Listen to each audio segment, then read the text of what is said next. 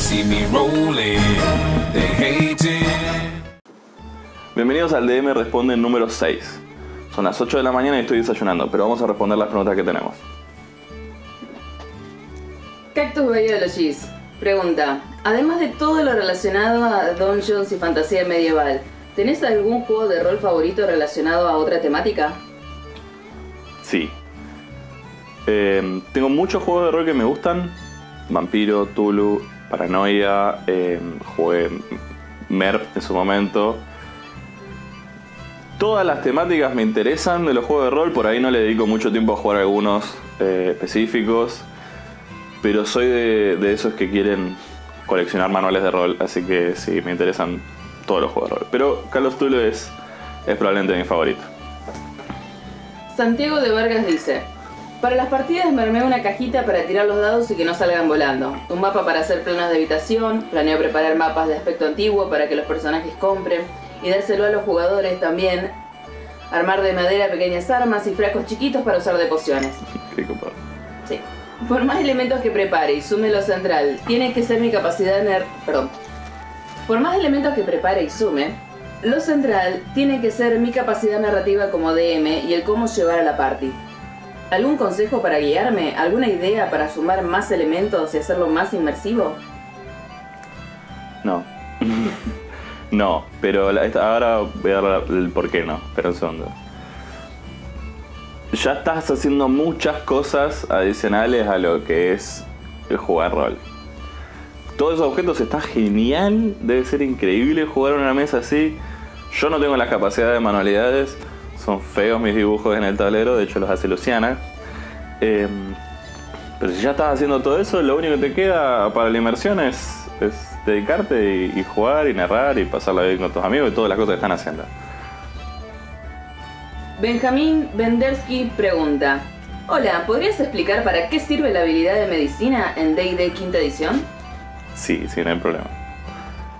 La habilidad de medicina es una de las pocas que son virtualmente inútiles. Y tiene esto de que vos podés curar con magia cualquier mal.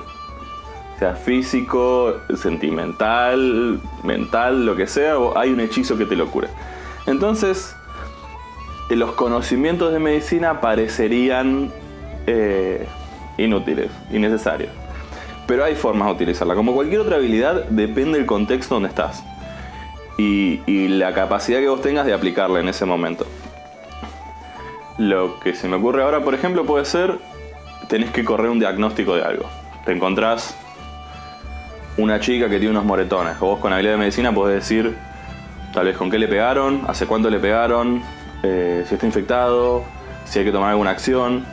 Y en este caso por ahí te sirve más para los primeros niveles donde no tienen tanto repertorio de magia como para curar todo.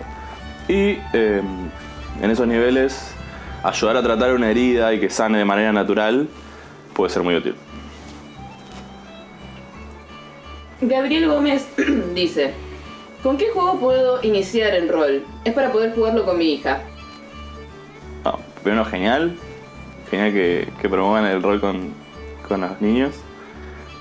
Eh, ya hicimos videos sobre Maguisa y probablemente tengamos más, que es un gran juego para empezar a jugar. Otro juego para empezar a jugar que se llama Pequeños Detectives de Monstruos, que es mucho más simple en sistema que Maguisa, no tiene toda la, complejidad de un juego de rol tradicional. Pequeños Detectives de Monstruos hace que los chicos estén en una agencia de detectives en la que tienen que ir a ayudar a gente que tiene monstruos en su casa. Y todos los monstruos están relacionados con miedos o cosas que, a los chicos les pueden asustar. Y ellos los tienen que ir trabajando con diferentes objetos. El manual es muy lindo, se los recomiendo, búsquenlo, está bárbaro. Una pregunta más o menos relacionada. Santiago de Vargas nos pregunta si Maguisa se consigue en Argentina. Sí, eh, el juego de rol es español, así que el manual original es, está en español. Y yo lo vi en un par de locales y en un par de convenciones donde se puede comprar, un manual muy bonito. Por último, tenemos dos preguntas más o menos relacionadas también. Sí, esto no, se mueve. Odio tu celular, León. Sí, es feo. Solo me entiende a mí. Edgar Arrieta dice: Hola querido, che, ¿dónde conseguiste esas miniaturas? Y Agustín Rosas 93. ¿Las minis las sacaron de algún lado? Bien. Creo que lo mencionamos esto antes, pero. Luciana hizo cupcakes. Perdón, no son cupcakes. ¿Qué son? Un intento fallido. Un intento fallido. Bien, perdón. Las minis que tenemos, las que pusimos en los videos, esas de cartón, tenemos un grupo que son de la caja para principiantes de Pathfinder, que viene un montón de minis. Pathfinder tiene otras cajas con otras minis que están buenísimas, de la misma forma. Y otro montón de miniaturas que hizo Luciana. Tenemos un video en preparación sobre cómo hacer estas minis. Em, porque es rápido, es barato y se puede hacer lo que vos quieras en mini. Así que esas son las minis que tenemos y lo que pensamos compartir con ustedes. Bien. Esas fueron todas las preguntas para hoy. Estuvieron geniales, hagan más. Y antes de que termine el video queremos anunciar lo siguiente. Estamos cerca de los 500 suscriptores y queremos hacer un, vi- un video. Ya estamos haciendo un video. Queremos hacer un sorteo para festejar esto con ustedes y con nosotros. Y que antes que nada, quiero agradecer a todas las personas que nos miran y que le dan like y comentan y comparten todos nuestros videos porque la verdad que es la razón por la cual lo hacemos.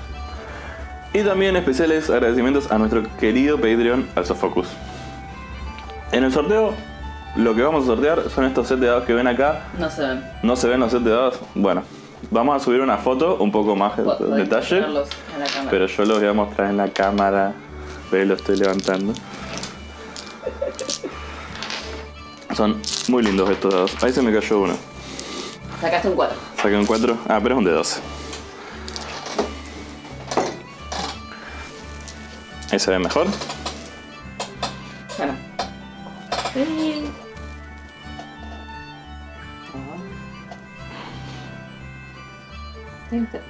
Bien. Como les dije, el objetivo es llegar a los 500 suscriptores y hacer el sorteo. Así que gracias por compartirnos y nos vemos en el próximo video.